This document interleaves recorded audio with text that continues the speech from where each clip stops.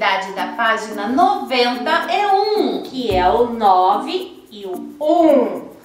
Como já havíamos conversado antes, turminha, podemos observar muitas coisas diferentes na terra, no mar e no ar, não é mesmo? Isso mesmo. Então chegou a hora da pesquisa!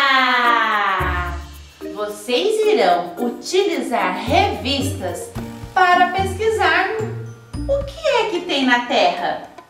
O que será que temos no mar? E no ar? Hum? Mãos à obra, turminha!